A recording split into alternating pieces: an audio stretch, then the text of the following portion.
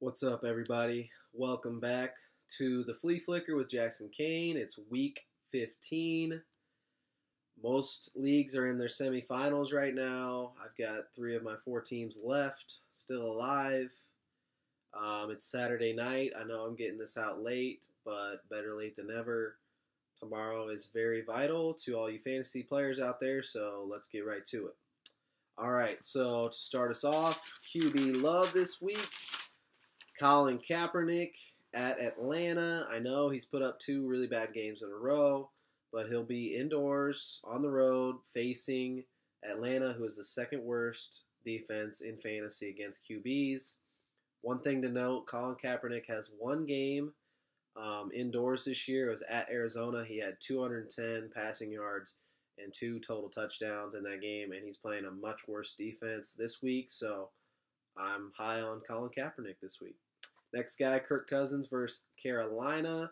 Um, Carolina's been bottom 10 against um, QBs all year. They've just been getting torched. Not the same team as last year.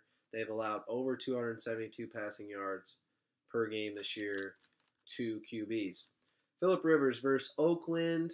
I know he's been a turnover machine lately, but in week five, he went for 359 yards and four touchdowns against this same team. So I'm high on him this week.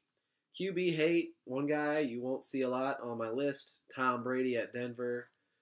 A lot of people are high on him this week, but I think he's going to struggle against the Broncos. Broncos have been great this year against any quarterback.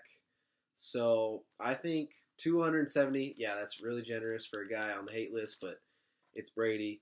270 yards with a touchdown and two turnovers is my realistic thinking on him this week. Next guy, Matthew Stafford at the Giants. Um, it's supposed to be really cold in New York um, tomorrow night.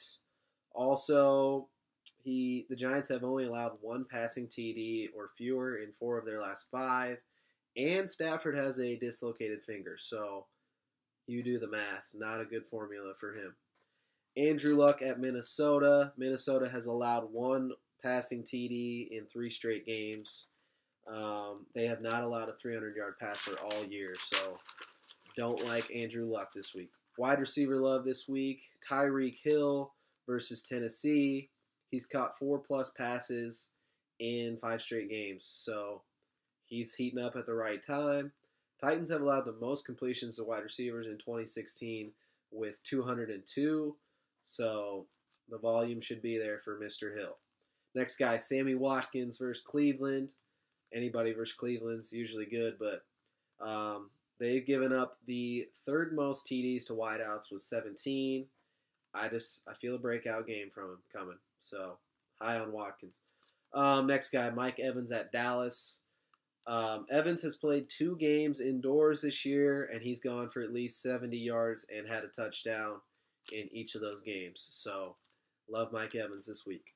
Next uh, category, wide receiver hate, Malcolm Mitchell at Denver. Um, he's got four TDs in three games, but none of those games were against Denver, so not high on the rookie this week on the road. Kelvin Benjamin at Washington. He's combined for um, 29 yards in two games, his last two games, and he'll probably be shadowed by Josh Norman this week. So sit him down. Not a good matchup. Um, next guys, uh, guys, I got two here. Golden Tate slash Marvin Jones at the Giants. Like I said, I don't like Stafford, so don't know how effective he's going to be.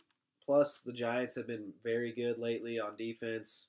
It's supposed to be cold, not high on the lines this week. RB Love, um, Devonta Freeman slash Tevin Coleman against the Niners.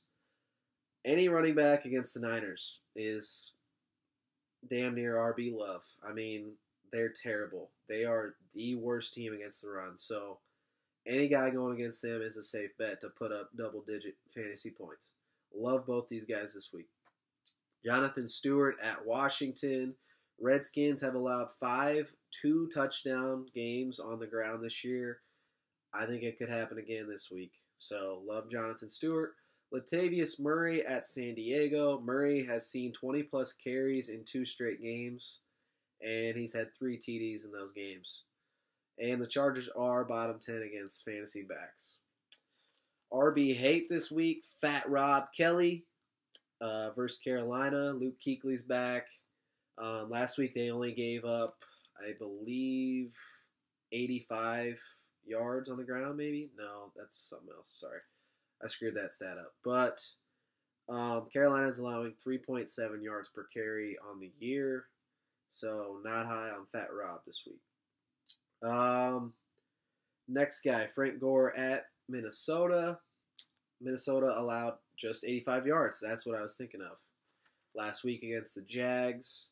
And the the Vikings are fighting for their playoff lives at home. Their fans are going to be riled up. Not big on Frank Gore this week. Spencer Ware versus Tennessee. Um, the Titans have allowed just seven total TDs to the position this year, and in their last three games, they've only allowed 63 rushing yards on average. Next category, tight end love this week, Ladarius Green at Cincinnati. Cincinnati, fourth worst against tight ends this year. They've allowed 82 completions to the position, which is third worst in the league. And the Bengals might key on Le'Veon Bell after what he did to the Bills last week. So, like Ladarius Green. Next guy, Kyle Rudolph versus Indianapolis. Um, Indy's allowed 882 yards to tight ends this year, which is third most in the league. And he has three straight games with four plus catches. He's that red zone target for Sam Bradford. So I like his potential this week. Has some upside. Greg Olsen at the Skins. Like I said, Kelvin Benjamin should be blanketed by Josh Norman. So I think Greg Olsen is going to get open, get some looks. Redskins, 10th worst against tight ends this year, and they've allowed the most catches by the position with 93. Tight end hate Coby Fleener at Arizona. Arizona, the only team to have allowed one or fewer tight end uh, tight end touchdowns this year. Delanie Walker at KC. This pains me to say. I did sit him this week. I sat him in favor of Jimmy Graham. Jimmy Graham did hardly anything on Thursday, but Delanie Walker at KC. It's supposed to be freezing cold, like I said earlier, and KC's top three against tight ends this year. Next guy, Zach Ertz at Baltimore. I know he's been hot. He's had two straight games with nine catches or more, but Dorial Green Beckham and Jordan Matthews should be healthy and back on the field this week, so I think that takes some production from him. Plus, Baltimore's top 10 against tight ends, so don't like Zach Ertz. All right, to my picks. Chance to dance, Jonathan Stewart at the Redskins. I just I love his upside this week. Waste of space, Kelvin Benjamin at the Redskins. Two teammates on my list. I just don't see it. I'm sitting him down. Don't see it. Um, in my three bold predictions this week, Andrew Luck will have at least two turnovers against the Vikings. San Fran and Atlanta will combine for at least 48 points in Atlanta.